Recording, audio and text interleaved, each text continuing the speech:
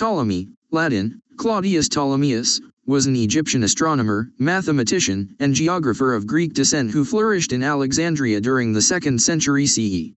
In several fields his writings represent the culminating achievement of Greco-Roman science, particularly his geocentric, Earth-centered, model of the universe now known as the Ptolemaic system.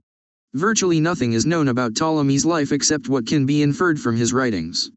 His first major astronomical work, the Almagest, was completed about 150 CE and contains reports of astronomical observations that Ptolemy had made over the preceding quarter of a century.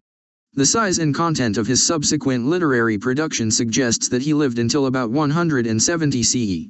The book that is now generally known as the Almagest, from a hybrid of Arabic and Greek, the greatest, was 7. The In this drawing, part of the 100 and Getty images, called by Ptolemy he Mathematike Syntaxis, the mathematical collection, because he believed that its subject, the motions of the heavenly bodies, could be explained in mathematical terms.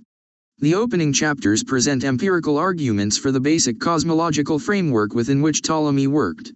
Earth, he argued, is a stationary sphere at the center of a vastly larger celestial sphere that revolves at a perfectly uniform rate around Earth, carrying with it the stars, planets, sun, and moon thereby causing their daily risings and settings.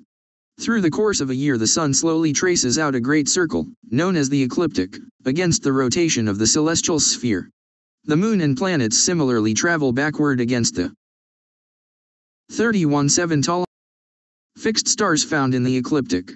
Hence, the planets were also known as wandering stars. The fundamental assumption of the Almagest is that the apparently irregular movements of the heavenly bodies are in reality combinations of regular, uniform, circular motions. How much of the Almagest is original is difficult to determine because almost all of the preceding technical astronomical literature is now lost. Ptolemy credited Hipparchus, mid-2nd century BCE, with essential elements of his solar theory, as well as parts of his lunar theory, while denying that Hipparchus constructed planetary models. Ptolemy made only a few vague and disparaging remarks regarding theoretical work over the intervening three centuries, yet the study of the planets undoubtedly made great strides during that interval. Moreover, Ptolemy's veracity, especially as an observer, has been controversial since the time of the astronomer Tycho Brahe, 1546 to 1601. Brahe pointed out that solar observations Ptolemy claimed to have made in 141 BCE are definitely not genuine, and there are strong arguments for doubting that Ptolemy independently observed the more than 1,000 stars listed in his star catalogue. What is not disputed, however, is the mastery of mathematical analysis that Ptolemy exhibited. Ptolemy was preeminently responsible for the geocentric cosmology that prevailed in the Islamic world and in medieval Europe. This was not due to the Almagest so much as a later treatise, Hypotheses ton planomenon, Planetary Hypotheses.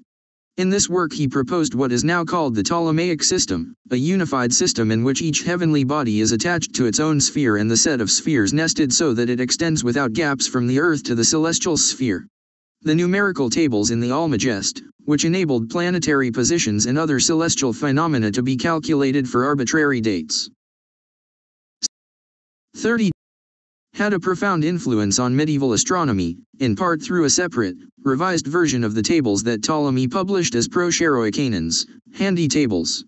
Ptolemy taught later astronomers how to use dated, quantitative observations to revise cosmological models. Ptolemy also attempted to place astrology on a sound basis in Apotelesmatika, Astrological Influences, later known as the Tetrabiblos for its four volumes. He believed that astrology is a legitimate, though inexact, science that describes the physical effects of the heavens on terrestrial life. Ptolemy accepted the basic validity of the traditional astrological doctrines, but he revised the details to reconcile the practice with an Aristotelian conception of nature, matter, and change. Of Ptolemy's writings, the Tetrabiblos is the most foreign to modern readers, who do not accept astral prognostication in a cosmology driven by the interplay of basic qualities such as hot, cold, wet, and dry.